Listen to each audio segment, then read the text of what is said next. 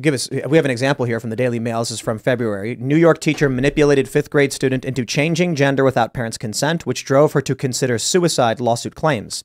The response you typically get from uh, people on the left is it's an anecdote, it's one story. To That's- which my, my response is, then why not just when Ben Shapiro comes out and says this is bad, you go, you are so right, Ben Shapiro. I'm so sorry this happened. Instead, the response you get is dismissal, saying, no, you're wrong. No, this doesn't matter.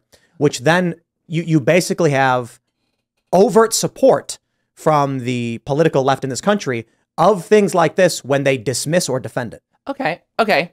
It's two questions, and I'm not even saying that I'm right on this. I want to know if the teacher was gay.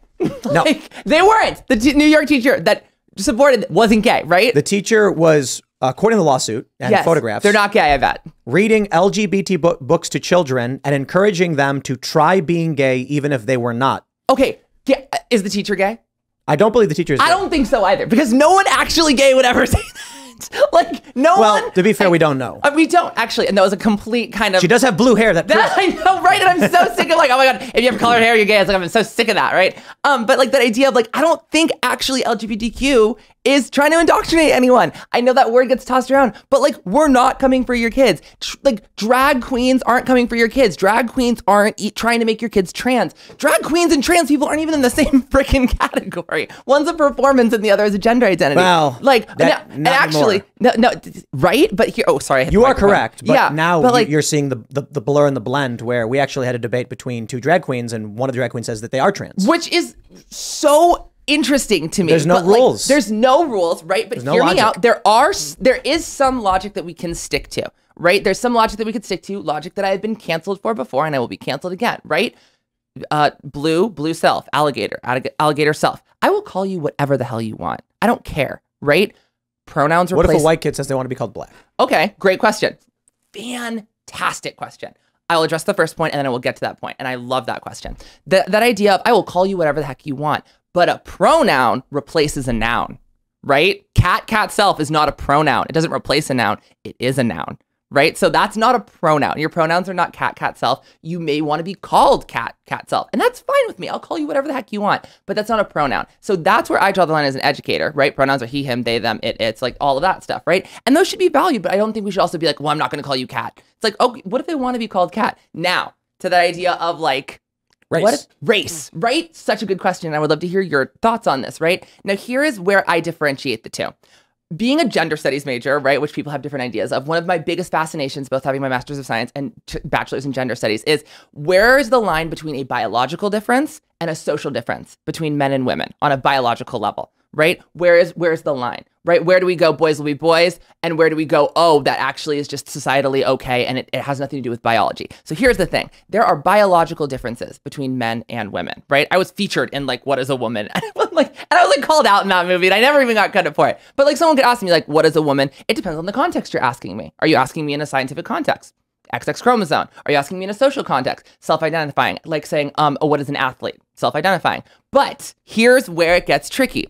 We know that there are biological differences between men and women. For example, women, oxytocin, better at communicating, better kind of at empathy. We have the we have the chemicals to prove it. I have always identified with that ability, right? With that ability, I think it comes naturally to me. Hence the title non-binary, right? I identify with a biological trait that is usually kind of seen in women. Therefore, I call myself non-binary to help some people make that connection.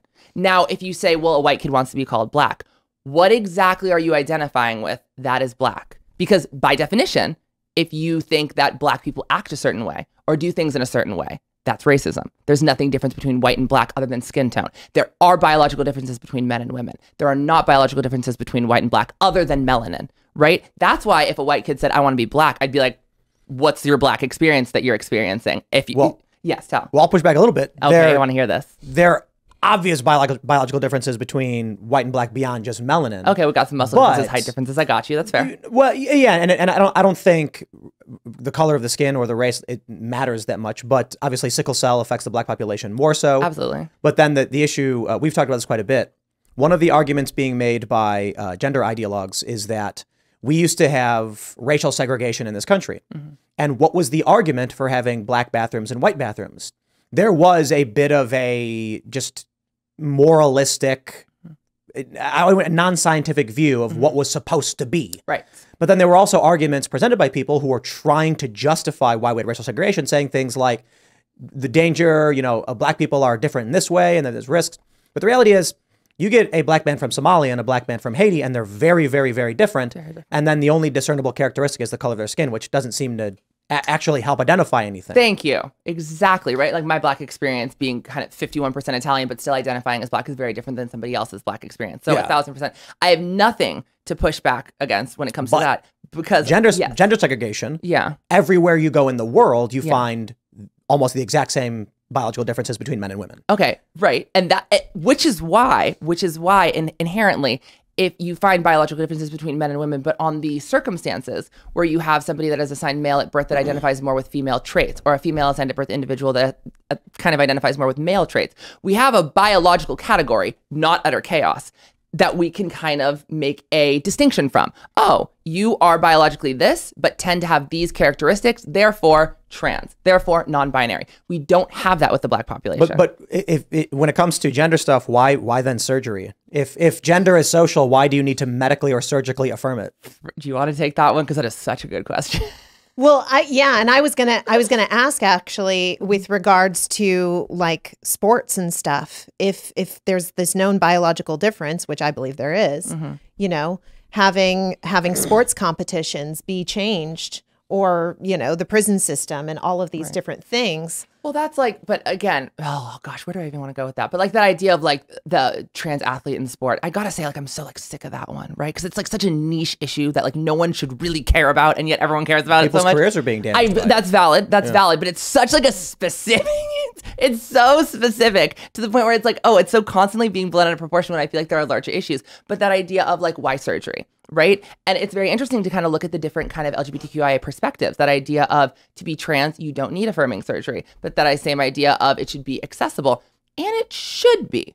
But what are the processes that we need to go through to make sure gender affirming care is beneficial? What guardrails do we need to put in play? I don't think banning it outright is a good situation. I don't think declaring, oh, and again, this kind of goes into uh, kind of reverse of your opinion, that idea of like wait for them to go through puberty entirely. That could be really, really kind of mentally draining for um somebody who's trans, right? That needs There's- to go through a puberty. Yeah, tell me. There's no argument against. I, I do not believe that there is any any logical argument against what I said. If if desistance rates are studied studied found to be between sixty and ninety five percent, then all you are doing by transitioning a minor is risking their suicide. Okay, so hear me out. Desistance rates. First of all, those studies are. Have you seen those? Have you seen those studies? They're a mess. Like those. Those are like the smallest sample sizes with the most isolated geographic locations that I have ever seen in study. Like those are ridiculously biased. Not saying you're wrong because I can't. I can't prove otherwise. Right. I, but I, my only response is Yeah. the left and the right both point to each other's studies and say they're saying wrong. they're wrong. Absolutely. And a thousand percent I could say like the left and the right. And I don't even I- I know it sounds crazy because like the way I look and the way I talk, but like I don't even say if I'm on the left or right technically because I'm a teacher and I don't think I should bring my political opinion into the classroom. And since I'm a media figure, I don't think I should disseminate that information. But with that said, right, like that idea of like, okay, well, it's tricky. Okay, personal but example. but but yeah. if if if the only data we have shows desistance rates to be this high, okay. there is no medical or scientific argument for transitioning minors. Okay, hear me out. Hear me out. Okay, here's here's a question, and I'll ask both of you this, right? Because as you know, right outside of San Francisco, very uh, progressive family. Despite, of course, having the social pressures of society, I did not start dance until the fourth grade because I thought dancing was for girls. And I didn't want to do something that was for girls. I did every single sport. I tried to be a boy so hard, right? And I, and you know, I had two moms, and I got my nails painted, and I went to preschool, and oh, you're not allowed to wear pink nails, and I got them taken off, right? I, I can't wear nail polish anymore, mom. But here's the deal: I did have progressive parents. I did start growing facial hair when I was like 12, right? And that did not work for me. It did not work. I don't identify as trans. I identify as non-binary. Facial hair, you look great by the way. Facial hair did not work for me. It did not work to the point where I could not shave. Like, and I know that sounds weird, but that idea of not only was facial hair wrong, but needing to deal with facial hair was inherently problematic. My mom had to shave for me. Yes, I just said that on a live podcast. You, said you had two moms. I do. They were separated, right? And that's actually, and yeah, really good question that we can go into there because then a lot of people are like, well, they indoctrinated you. No, they didn't. Um, but like, here's the deal: that idea of hear me out. One actually had to shave for me because I was so against. I was so against shaving. And did I get laser hair removal on my face at the age of like 15, 16? A thousand percent. And did that make high school and college a lot easier for me? A thousand percent. And that's a medical intervention that I did at a very young age, but it worked for me. And I actually, and in a way, it supports both of our arguments. Well, right? I don't think Yeah. removing removing hair is comparable to sterilization. It, well, absolutely, right? Um, but in a way, it's part of it is, but at the same time, not to the extremity. And I will respect that actual analysis that you just gave, right? But that idea of like, but it's crazy, right? It's crazy to me, like to kind of go back off that, like, oh, well, you had two moms, right? That idea of like, oh, people think that I was somehow indoctrinated by LGBTQ, that I was indoctrinated by, you know, my mom's, by I was indoctrinated by the Bay Area. It's not the case. If anything, if you talk to any queer or trans person, other than the people that desist, you got to remember those people. But uh, the, a majority of us, we fought against feeling this way and acting this way for a very long time. Like we didn't just go like, oh, you know, it'd be kind of fun to wear pink eyeshadow every day. that seems like a good idea. But that, that- that's, Yeah. that's a social choice. That is a social make. choice. Yeah. I mean, you don't But have to a- wear makeup. Right, but right, but it's a social choice that I had the right to make. Right? And and do we take that right away from kids? If if your son comes to you one day after you know getting one of these books being like, "Oh mom, I want to try out eyeshadow. I think it'd be kind of interesting to experiment with that." My guess is you'd get would would there be a little bit of pushback from you there? And if so, why? I think, I mean, I, I think, mm, I mean, for me, Could he wear the eyeshadow? No, I'm not kidding. no, no. um, I I really think with regards to these topics, with regards to all of this, um, we have a we have a situation where I do think there's um, a variety of cl- conflicting worldviews, but I don't think that comparing. I mean, for my part, I don't think there's any comparison of uh, you know facial hair removal to i mean i had only learned really probably a, maybe not even a year ago that the medications that are referred to as puberty blockers are oftentimes prostate cancer drugs i didn't know that Or used to chemically castrate sex offenders. Right. I didn't know that. And not only that, but the surgeries. So the surgeries like a like a double mastectomy or some of these various surgeries have serious serious consequences. Um, and I and I think that you know obviously the drugs do as well. These are things that are are highly highly concerning uh, uh, in regards to all of the side effects.